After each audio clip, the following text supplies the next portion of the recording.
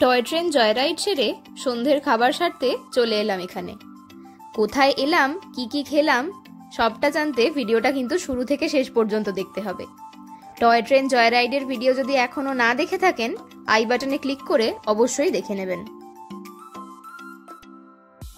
কেভেন্টার্সের অপোজিটের রাস্তাটায় প্রচুর street food এবং শীতের জিনিসের দোকান রয়েছে। এখানে খুব কম দামে বেশ ভালো ভালো জিনিস পাওয়া যাচ্ছিল। সেই রাস্তা ধরে হাঁটতে হাঁটতে কিছু জিনিসপত্র দেখতে দেখতে চলে এলাম গ্লেনারিজ। দার্জিলিংয়ে এসে ব্রিটিশ আমলের এই সুন্দর আর্কিটেকচারকে ব্যাকগ্রাউন্ডে রেখে ছবি তোলেন না এমন মানুষ হয়তো খুব কমই আছেন। যাদের মধ্যে অবশ্য আমরাও পড়ি। ছবি তোলার লাইন এত বিশাল ছিল যে আমরা খাবার লাইনেই দাঁড়াতে প্রেফার করলাম। চলুন, ভেতরে যাওয়া যাক। গ্লেনারিজের দুটো ফ্লোর রয়েছে। এখন আমরা যেখানে এন্টার করছি সেটা হলো গ্রাউন্ড ফ্লোর এখানে রেস্টুরেন্ট কাম বার রয়েছে। আর এর নিচের ফ্লোরটা অর্থাৎ লোয়ার গ্রাউন্ড ফ্লোরটাতে রয়েছে বেকারি কাম ক্যাফে দার্জিলিং এর আইকনিক ল্যান্ডমার্কগুলোর মধ্যে গ্লেনারিজ কিন্তু অন্যতম। এই গ্লেনারিজ প্রায় একশো বছরেরও বেশি পুরনো। ব্রিটিশ শাসনের সময় থেকে কিন্তু গ্লেনারিজ রেস্টুরেন্টটা রয়েছে।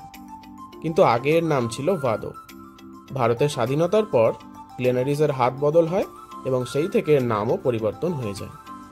এই দেখুন মেনু কার্ডটা চলুন এবার নিচের ফ্লোরে যাওয়া যাক। জায়গাটার ইন্টেরিয়ারটা কিন্তু দারুণ। যারা ছবি তুলতে ভালোবাসেন, এখানকার প্রত্যেকটা কোণা ভীষণ ফটোজেনিক এই দেখুন, এখানে আবার টুকটাক গিফটিং আইটেমসও পাওয়া যাচ্ছে। জিনিসগুলোর দাম কিন্তু একটু বেশিই ছিল। ভিড়টা দেখে আশা করি বুঝতে পারছেন এই বেকরির জনপ্রিয়তা কতটা? এই যে সামনে দেখছেন, ঝুড়ি আর একটা চিমটির মতন জিনিস রাখা রয়েছে, ওই দুটোকে কালেক্ট করে ওই কেকের উইন্ডোটার সামনে গিয়ে আপনার পছন্দের কেক, পেস্ট্রি, টার্ট, যা খুশি আপনারা ওতে কালেক্ট করতে পারেন। এবং ওই বাস্কেট সমেত বিলিং কাউন্টারে নিয়ে গিয়ে বিলটা আপনাকে করিয়ে নিতে হবে। আপনি এখানে বসেও খেতে পারেন, অথবা প্যাক করিয়েও নিয়ে চলে যেতে পারেন।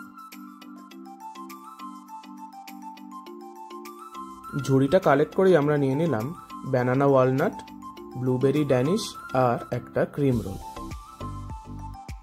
এগুলো নিয়ে নেওয়ার পর ভাবছিলাম যে আর কিছু নেব না। কিন্তু পাশের টার্টের কাউন্টারটা দেখে তো জিভে জল এসে গেল।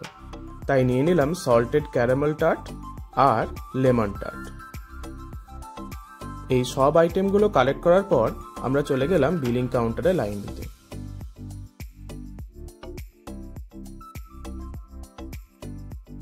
বিল করানোর পর এই যে জায়গাটা দেখছেন, এটার নাম হলো হিটিং স্টেশন। যেখানে মাইক্রোওয়েভ রাখা রয়েছে। আপনারা নিজের ইচ্ছা মতো জিনিসগুলোকে গরম করে নিতে পারেন। আমরা এখানে ঠিক সন্ধ্যের মুখে এসে পৌঁছেছিলাম। গ্লেনারিসে কিন্তু তখন প্রচণ্ড রাশ ছিল। কোনো রকমে একটা বসার সিট ম্যানেজ করলাম। চলুন, এবার কফিটা অর্ডার করি। এই হচ্ছে এখানকার কফি মেনু। আপনারা ভিডিওটা পজ করে দেখে নিতে পারেন।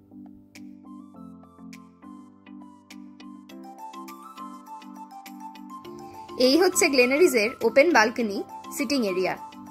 এখানটাতেই আমরা বসতে চেয়েছিলাম। কিন্তু তখন একদম জায়গা ফাঁকা ছিল না। তাই আমরা ভিতরেই বসলাম। দারুণ সুন্দর এখানকার ভিউটা।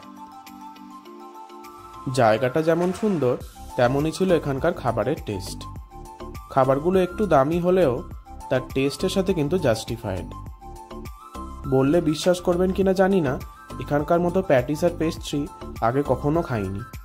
তাই আপনাদেরকে অনুরোধ করব, দার্জিলিংয়ে যখনই যাবেন, একবার কিন্তু গ্লেনারিজ অবশ্যই ট্রাই করবেন।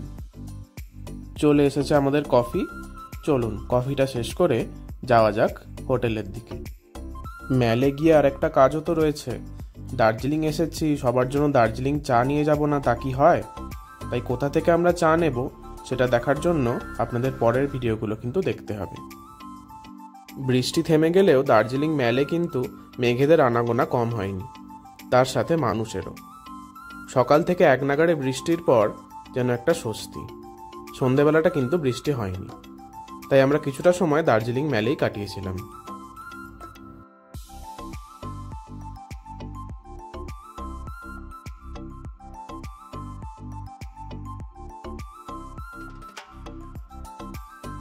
পরের দিনের সকালটা এরকম ছিল কিছুটা। হোটেলের জানলা থেকে পাহাড়ের ভিউটা ছিল এইরকম। আপনাদের আগের ভিডিওতে বলেছিলাম মনে আছে যে হোটেলের জানলা থেকে ভিউটা আপনাদের দেখাবো? আজকে কিন্তু আকাশে একদমই মেঘ ছিল না, তাই পুরো জায়গাটা খুব পরিষ্কারভাবে দেখা যাচ্ছিল। আজকে আমরা যাব দার্জিলিংয়ের সাইট সিং করতে। তো সেই ভিডিওগুলো দেখার জন্য কিন্তু আপনাদের একটু ওয়েট করতে হবে।